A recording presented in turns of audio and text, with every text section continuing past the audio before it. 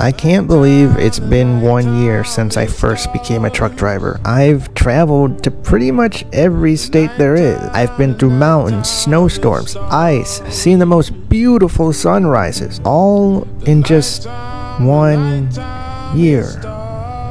But it hasn't been all good. There were times where I couldn't shower for a week because the deliveries had such tight deadlines. Times where I got stuck at a dead end. And times where the literal last thing I wanted to do with my life was be in a semi truck. But even after all that, I'm still a truck driver. Why? Because I'm freaking crazy.